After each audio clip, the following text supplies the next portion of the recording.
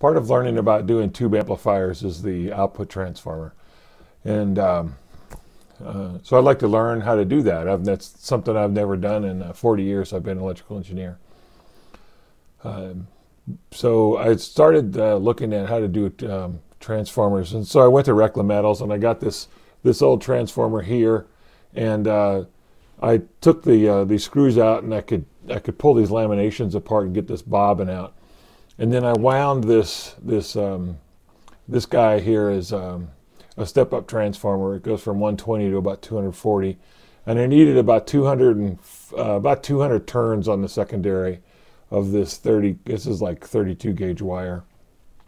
Uh, so I, um, a lot of people just spin this up on a drill. Um, a, you know, a regular handheld drill. That's that that could work okay. Uh, I do have a lathe out in the garage, so I, I uh, put a variac on that lathe and got the motor spinning pretty slow. And then I, I made this little thing. This is um, this is my counter. This has got an Arduino with the same smart LCD um, screen on it and some buttons. And then over here, this is an opto um, uh, uh, opto interrupter. And the spindle that I 3D printed to hold the bobbin onto the lathe had some indexing teeth on it, and I'd count how many rotations would come through. And then down here, I got some magnets, so this thing would just like, uh, you know, attach right onto the lathe, and I could spin up the transformers. This guy here, um, I mean, you can do it, but the um, it's it's not that pretty, um, and it's not that precise because you know the, the wires overlap on top of each other. And if you really want to get into doing output transformers, um, I've learned that uh, high performance output transformers interleave the primary and secondary windings. So say you wanted to have like 300 turns of on a primary and um, I don't know, say you wanted to have 50 turns on the secondary. So real high performance output transformers will wind on like 50 turns onto one layer on that bobbin. Then they'll wind a little, they'll wind on some secondary. Then they'll wind on the primary. Then they'll wind on the secondary, and they're they're interleaved in there. Um, that would be a that's a that's a would be that'd be almost impossible on the lathe setup I have in the garage. So I started thinking about how to do a coil winder, and um, this is the project I'm working on now. It's called Faraday. Uh, I've, I've, procured a lot of kind of key components. I've, I've, been looking into this for about six months, and I really started yesterday. I did the CAD uh, drawing in FreeCAD for what this uh, the first version of Faraday is going to look like. Uh, I got some other parts come in. Uh, this thing is going to use an Arduino uh, with GRBL running on it and a couple of easy drivers, or I might use some of those um, uh, DRV8825 parts. Then uh I'm going to use uh, ChiliPeppr for the interface for that, and we'll be talking a little bit more about that. But let's go into the mechanical design of uh, Faraday right now. And I, I, cut out a lot of parts today, so you'll get to see at the end what this thing actually is kind of look like. So. Um, here we go. So here I have my uh, Faraday coil winder up here in FreeCAD, and it's uh, comprised of four pieces of uh, about half inch MDF. Well, I think it's probably five six. No, what is it? Five eighths. Five H MDF. Um, it's got two stepper motors. These are NEMA 17 on this side. It's got a bunch of holes in here. Back in here, this is the uh, shaft that's going to hold the uh, wire, um, the spool of wire, of uh, magnet wire you get. And then um, on these shafts here, this front one's going to have a, a, uh, drill chuck attached to it, and then this back one has a piece of uh, lead screw on it. So what ends up happening is you're going to put your bobbin out here, you're going to run your wire through here, and then there's a this piece, there's going to be like a I don't even know what you want to call it. There's a feeder piece that runs the wire back and forth, and these two are synchronized this the rotational speed of this as well as the linear motion back and forth of this. And uh, uh, GRBL and machine code for G code have uh, commands to actually synchronize those two things. And so it's going to be relatively easy to get this thing to work. So I drew all this up yesterday in FreeCAD um, and learned a lot about how the assembly mechanism works in FreeCAD. And it was it's kind of a pain in the ass to do it. But I did get this uh, done enough to generate some DXF files. And then I took them over to Sean's uh, CNC router this morning and we uh, routed out uh, all these, these all these parts.